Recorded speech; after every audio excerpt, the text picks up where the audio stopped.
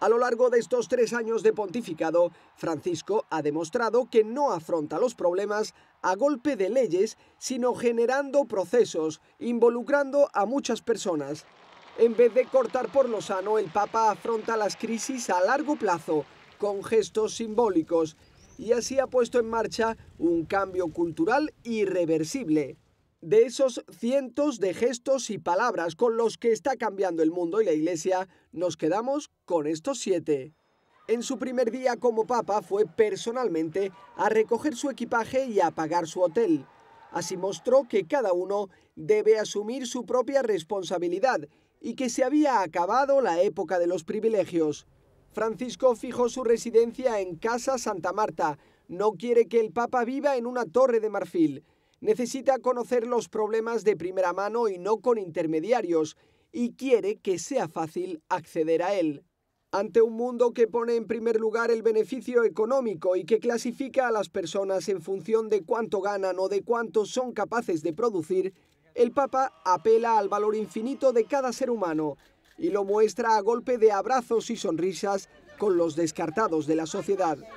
Dice que la realidad se entiende desde las periferias, en Roma no ha visitado las parroquias del centro, sino las marginadas. En Europa solo ha viajado a Albania y Bosnia-Herzegovina, no a España, Alemania, Inglaterra o Francia. Durante su viaje a México ha ido a donde nunca había estado un papa, a lugares como Chiapas, Chihuahua y Michoacán. Y cuando en Semana Santa celebra la misa del jueves santo, va a lugares heridos, como una cárcel de menores o un centro de cuidados paliativos. Así ha abierto los ojos a muchas personas sobre situaciones que ni siquiera sabían que existieran. Cuando los grandes encuentros incluyen testimonios, el Papa no lee el discurso que llevaba preparado, sino que se deja cambiar por lo que ha escuchado. Lo hizo cuando en Sarajevo escuchó cómo habían golpeado a este sacerdote.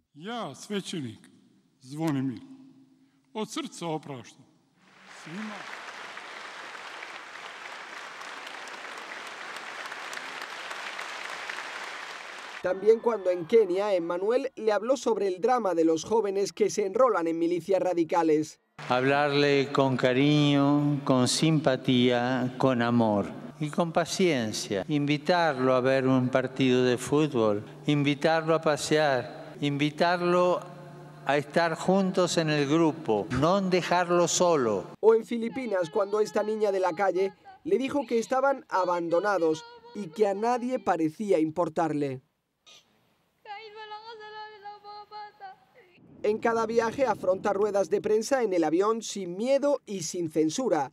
Responde a preguntas libremente formuladas, sin temor a equivocarse y sin temor a afrontar cuestiones delicadas como la corrupción en la iglesia, la sexualidad o lo que él mismo lleva en el corazón. Ha tomado decisiones concretas y difíciles para simplificar la estructura del Vaticano. Ha creado un consejo de nueve cardenales que le ayudan a gobernar y que facilitan que cualquier obispo tenga acceso directo al Papa. Ha instituido una comisión para prevenir casos de abusos sexuales y ha depurado la banca del Vaticano. Y aunque este punto no es un cambio, no se entiende lo que está haciendo el Papa Francisco sin mencionar que es un místico que se fía de Dios. Ante un bombardeo inminente a Siria, convocó una vigilia de cuatro horas de oración en la Plaza de San Pedro. La palabra que más veces ha repetido en estos años es la que usa para definir a Dios, misericordia, una palabra que encierra el lema y la fuerza de este pontificado.